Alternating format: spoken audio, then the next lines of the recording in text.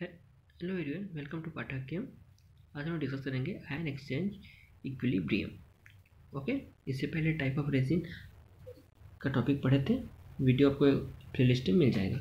Okay in general the ion exchange process is an equilibrium control process for instance when a cation exchanger with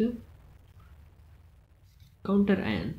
Is replaced and solution con containing cation okay the distribution of cation occur till equilibrium is reaches okay let's consider a following reaction में ये following reaction इसी से पूरा आगे का बनेगा okay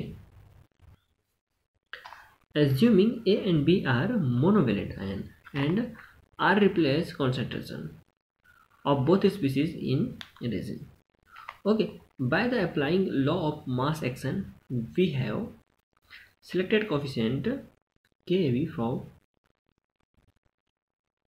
and with some charges okay तो इसको ऐसे लिखा जा सकता है जिसमें के वी इक्विलिब्रियम कॉन्स्टेंट है okay then even exchange occur between two ions of difference valency of ions in A and B We have exchange as A B plus and B A plus resin है, जो reactant की तौर पे आएगा product में क्या आएगा? A B plus resin and B A plus okay then इसका क्या होता है? So by applying the mass action में क्या होता है?